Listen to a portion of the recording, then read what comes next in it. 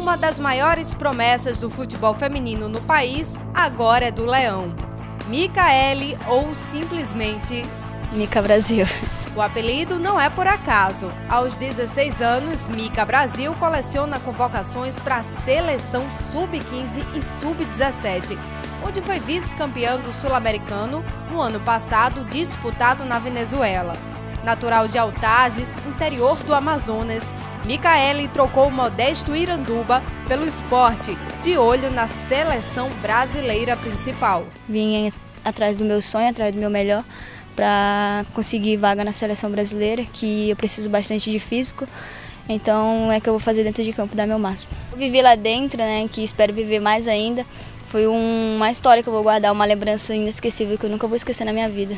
Ela chegou em agosto para se juntar às atuais campeãs pernambucanas. E nem precisa perguntar se já está entrosada com as meninas, né? Na academia, o trabalho é pesado em busca da forma física ideal.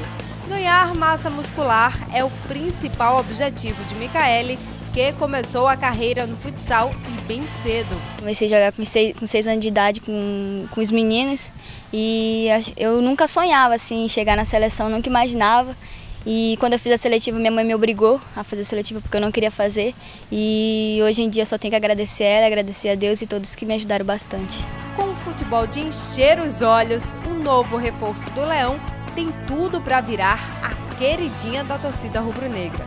Ah, eu espero fazer bonito dentro de campo, né? Que a torcida goste, driblar, é, deixar minhas companheiras cara a cara com o gol, fazer o gol também.